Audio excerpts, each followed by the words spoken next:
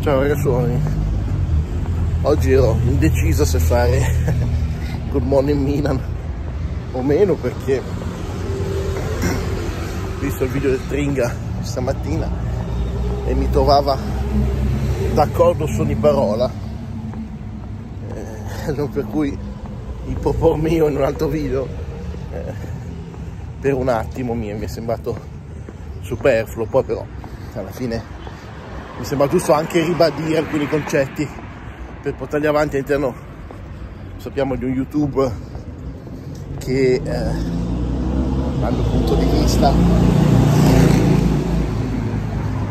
non ha molti eh, luoghi aperti di confronto critico mentre c'è molto spazio per un po' lo spettacolo, l'avan spettacolo anzi spettacolo mi sembra un po' troppo un po' troppo valorizzante avan spettacolo già più sensato ma così vuole il pubblico e così si va avanti insomma. Sugli altri canali non so se anche seguito un personaggio tale nonno bastardo interista che tanto mi è capitato nei, nei consigliati ne è venuto fuori che questo qui è, è in realtà una persona di mezza età, di 53 anni, che usa un filtro invecchiante per creare il personaggio del, di questo nonno. Poi, chapeau nel senso,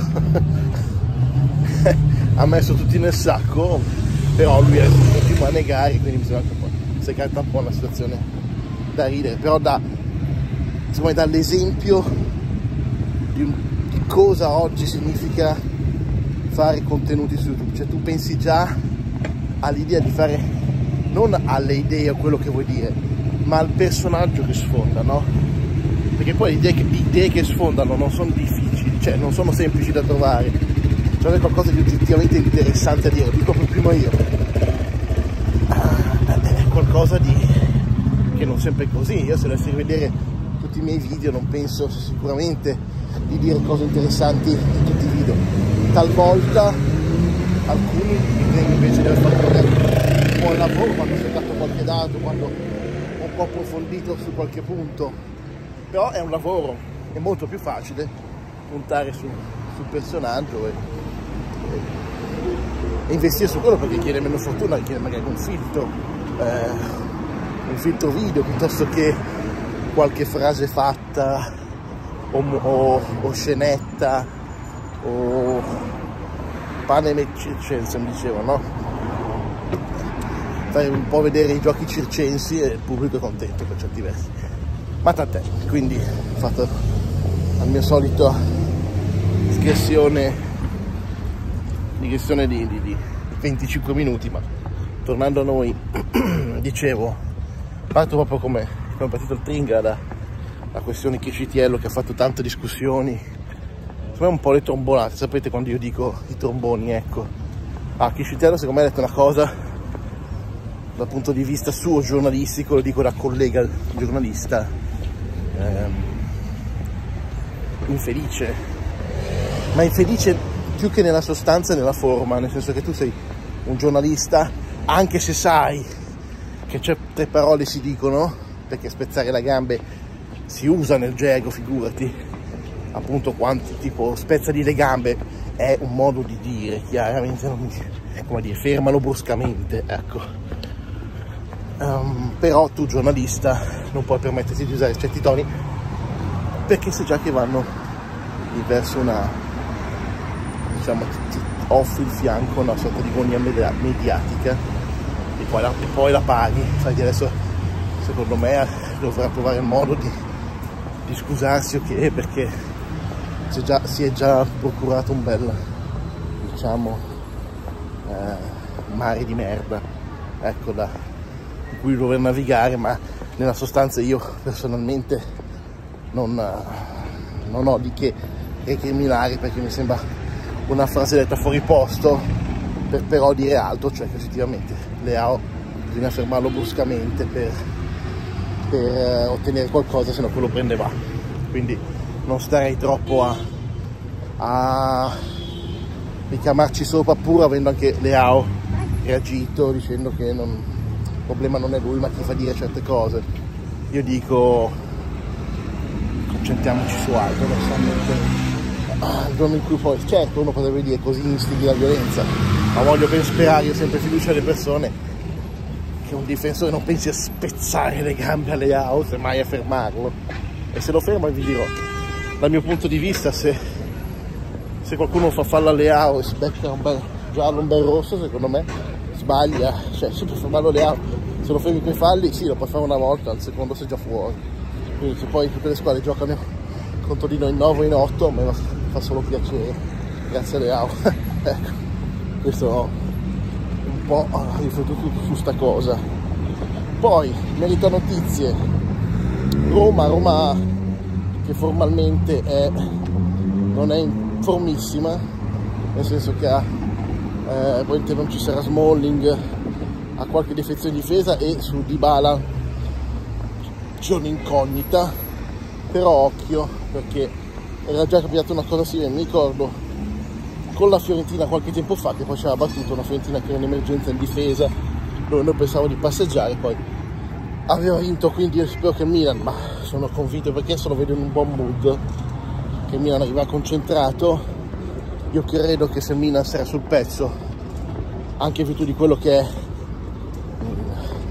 il modo di essere della Roma che è un modo comunque tosto di essere per quello che è la squadra del Milan cioè loro si chiudono e sappiamo quanto il Milan soffra queste barricate però se all'interno di queste barricate magari non c'è più un, un, giocatore che possa come Smalling che possa effettivamente fare da torre diciamo del Muraria ma i rapporti a un giro magari altri giocatori un po' meno performanti allora magari qualche spiraglio per far male si apre. Eh, staremo a vedere staremo a vedere però sono piuttosto fiducioso ecco.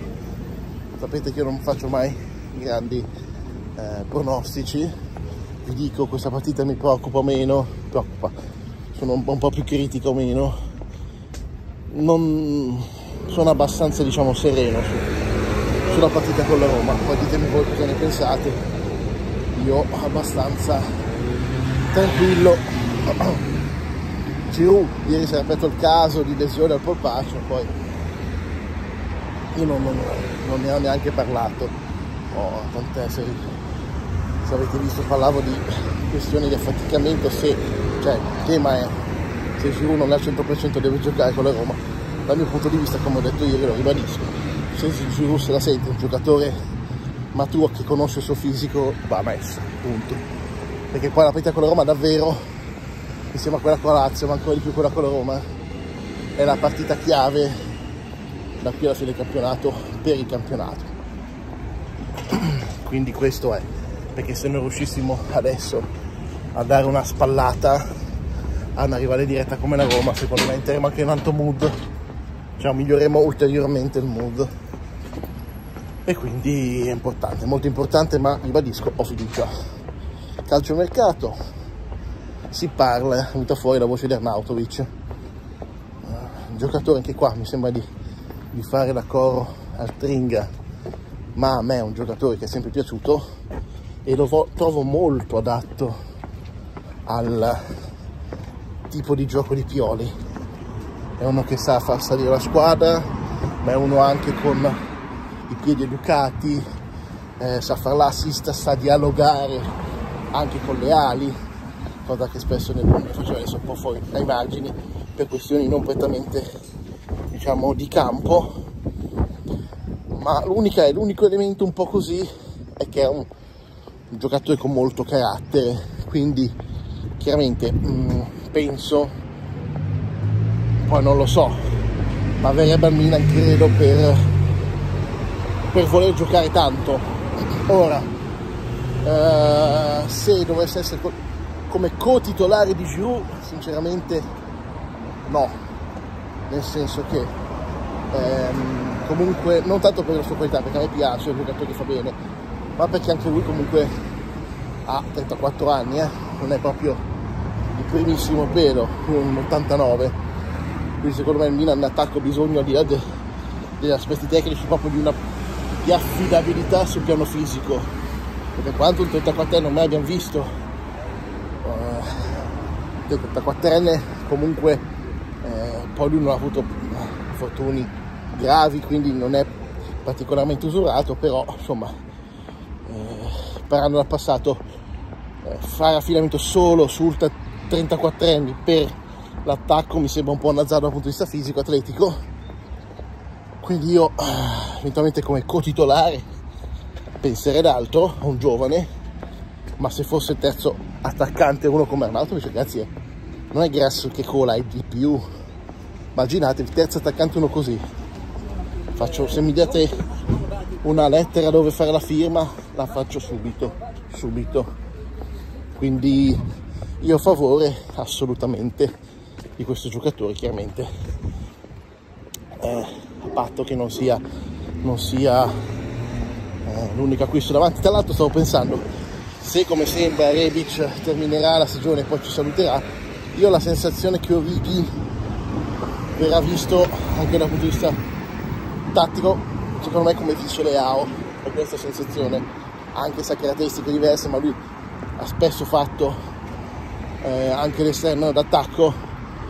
E se dovesse saltare Rebic forse chissà che non venga proprio sostituito direttamente da Orighi in modo tale poi da lasciare uno spazio davanti. Poi Orighi tra l'altro come Rebic all'occorrenza può fare il centravanti um, e quindi da quel punto di vista potrebbe essere una soluzione di pianificazione. Mercato, premesso che parlare adesso di mercato. È, è presto perché sappiamo come sia pianificato il mercato del Milan sulla base del budget, budget che viene determinato al termine della stagione su quelli che sono i piazzamenti e gli incassi, molto semplicemente, quindi adesso sta troppo, allora per obiettivi di un certo tipo è presto. Per giocatori come Nautovic che credo comunque abbia un prezzo di, di mercato abbastanza contenuto invece un altro discorso. Comunque concludendo il video su quello che mi piacerebbe vedere come eventuale attaccante del Milan se dovessero esserci due giocatori come Arnautovic e Giroud dal mio punto di vista anche per una questione di alternativa tattica mi piacerebbe vedere un giocatore eh, più d'attacco in profondità, anche per dare delle soluzioni magari un po' diverse al gioco del Milan. Ora, non il classico attaccante leggerino e velocissimo, perché quello non funziona col, generalmente col gioco del Milan. Um, ma uh, un giocatore che sebbene abbia fisicità ma abbia anche molta atleticità sul piano dello scatto sul piano sarebbe bello di saltare l'uomo perché né Giroud né Renato dicevano a lungo eh, capace di saltare l'uomo magari nello stretto sì sul posto ma in, in volata no.